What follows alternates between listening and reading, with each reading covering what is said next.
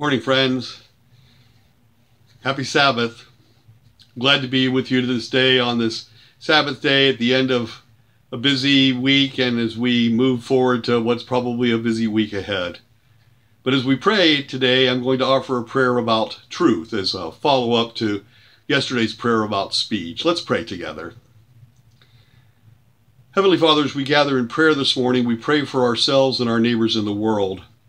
We begin with prayers of thankfulness for all that we have received and for all the blessings in our lives. Yesterday we prayed about speech. Today we pray about truth. We recognize they should go together. Josh Billings said, The best time for you to hold your tongue is the time you feel you must say something or bust. And also, he said that as scarce as truth is, the supply has always been in excess of the demand.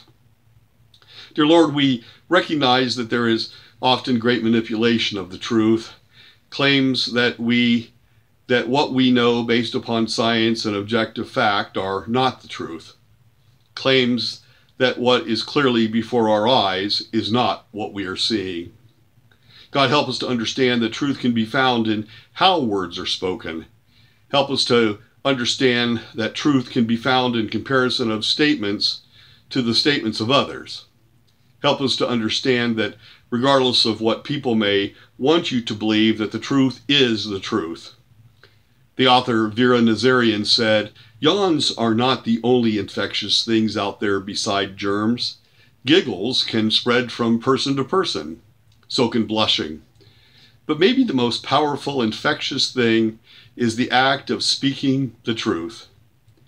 Lord, help us and others to speak infectious truths help us to accept that once we hear the truth that we should live based upon the truth.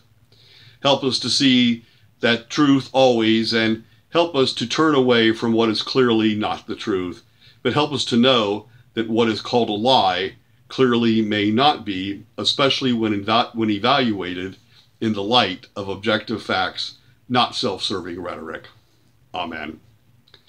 Our reading for today comes from the 51st Psalm, text about truth. Have mercy on me, O God, according to your steadfast love, according to your abundant mercy. Blot, blot out my transgressions. Wash me thoroughly from my iniquity and cleanse me from my sin. For I know my transgressions, and my sin is ever before me. Against you, you alone have I sinned and done what is evil in your sight so that you are justified in your sentence and blameless when you pass judgment. Indeed, I was born guilty, a sinner, when my mother conceived me. You desire truth in the inward being, therefore teach me wisdom in my secret heart.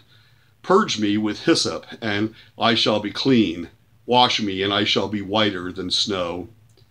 Let me hear joy and gladness. Let the bones that you have crushed, rejoice. Hide your face from my sins and blot out my iniquities. Create in me a clean heart, O God, and put a new and right spirit within me. Do not cast me away from your presence, and do not take your Holy Spirit from me. Friends, this is the word of the Lord. Thanks be to God.